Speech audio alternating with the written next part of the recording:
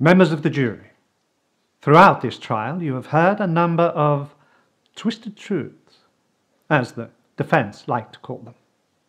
I prefer to call them lies, all of which have come from the mouth of the defendant. Let me take you back, if I may, to lie number one. I had no reason to harm him.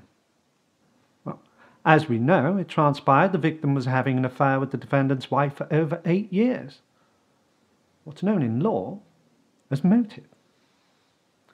Lie number two. I was nowhere near the scene at the time of the attack.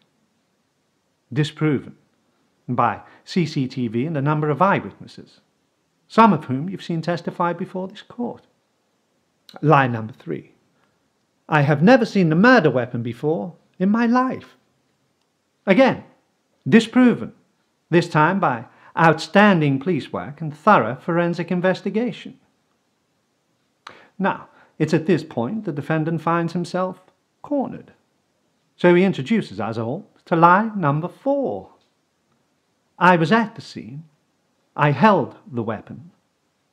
But I blacked out due to my long-term drug habit and my lifelong diabetes. You've guessed it. Disproven. This time by medical experts and the defendant's very own medical records.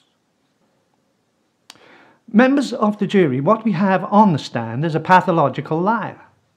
A man who has only admitted to some of his untruths to save his own skin, and not, as he is making out, to do the right thing. Our victim, Mr. Landy, was no angel, but it is not he who is on trial here. And so, by unravelling the web of lies the defendant has spun, the prosecution conclude he is guilty of murder beyond reasonable doubt. And we ask you, the jury, to find the same.